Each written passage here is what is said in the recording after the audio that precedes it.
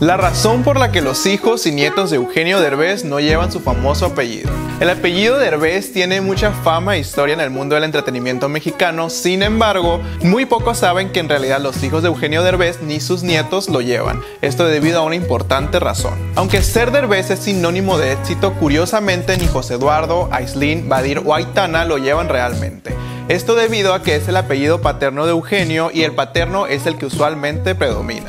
Eugenio González Derbez es el nombre completo del famoso comediante mexicano y su reconocimiento en la industria se lo debe a su madre, la señora Silvia Derbez, una destacada actriz mexicana que mantiene su legado con su hijo, nietos y hasta bisnietos. Debido a que Derbez es el apellido materno de Eugenio, sus hijos no lo llevan.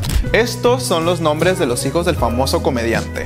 José Eduardo Eugenio González Martínez del Río, Aislin González Michel, Badir Alejandro González Torres Prince y Aitana González Sánchez. Además, tampoco los nietos de Eugenio llevan su apellido. Actualmente, el famoso tiene dos nietas, Kailani Ochman González y Tessa González Dalai.